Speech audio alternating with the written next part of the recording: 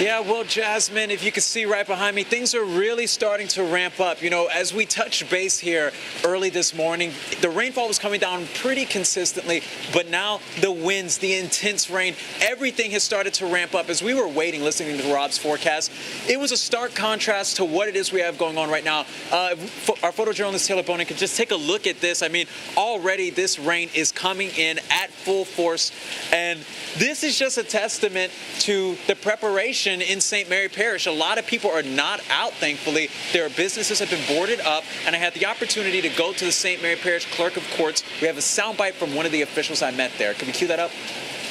We're confident that we're in a good place right now, but of course, we're not leaving any stone unturned. We're checking with people. We're, we have our uh, sheriff department that's making rounds just to ensure that nobody in this last hour uh, is, is left in a vulnerable uh, position.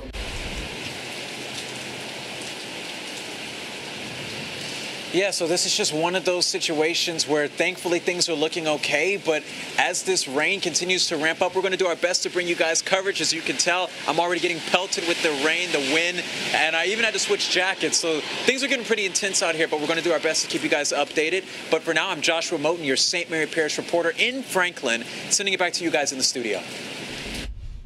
Uh, thanks, Josh. Now, a reminder this morning schools across Acadiana are closed until the storm passes. To see the full list of closures, you can head over to our website at katc.com. Right now, we're taking a look at flights that were scheduled for departure ahead of Francine. But as you can imagine, those flights have been impacted. Take a look at your screen. According to the flight director at Lafayette Regional Airport, all afternoon departure flights are canceled, and the majority of flights coming in were canceled for the day. Now, several shelters have opened across Acadiana to help our neighbors in need. They are listed on your screen now for more information on what you need to bring before entering the shelter and what some of the services they're offering. Make sure to visit our website at katc.com.